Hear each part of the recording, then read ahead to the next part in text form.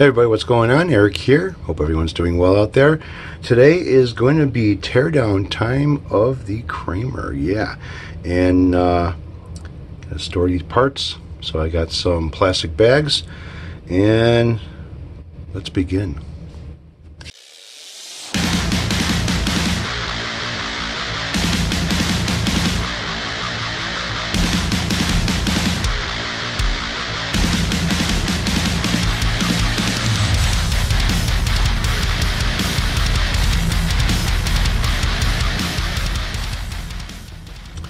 So it looks like right here there's a small crack. Doesn't look like it's gone too far. It stops right there. So we'll see how that is.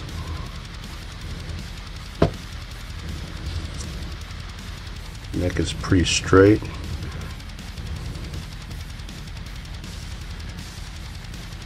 So I'm going to check these frets out. Hopefully I don't have to do refretting. We'll check them out anyways. Get that sticker off of there. Get these tuners off. Check the inside of this pocket over here. Alright, that looks like it's just a stress crack in the finish. There's no crack on this side here either. So again, another stress crack in the finish. Very minimal movement when I go ahead and put some pressure on it. But I will take care of that as well. Put this off to the side. Focus on this right now. These are all pretty loose. I can unscrew them by hand.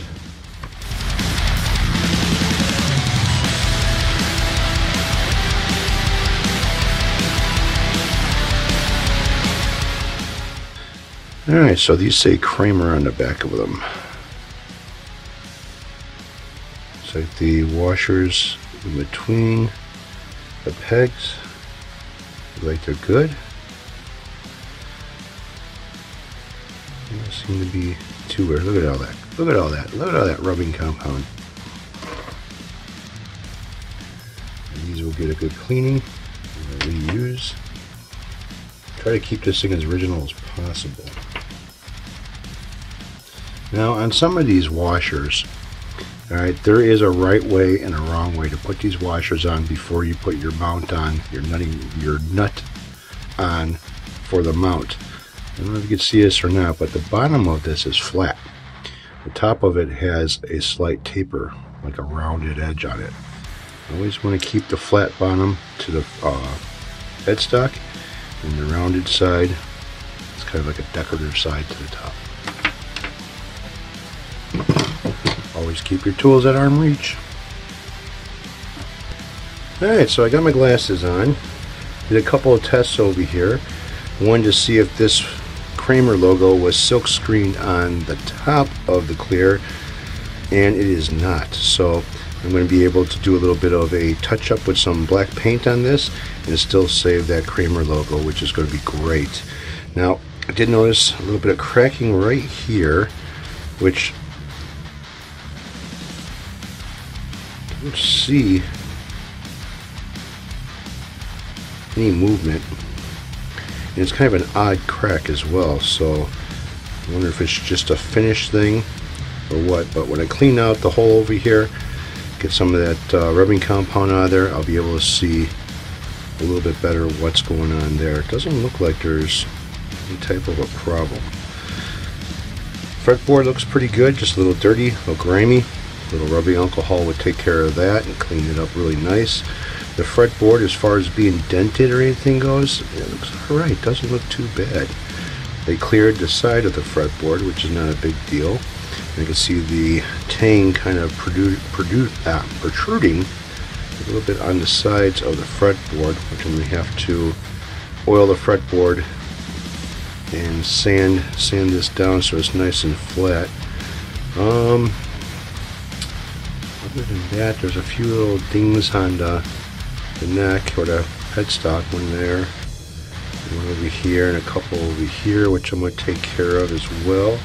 Looks like this is a one, two, three, four, It's a four-piece neck. It's got some real nice bird's eye maple in the center. Real nice. They didn't carry it through the whole thing.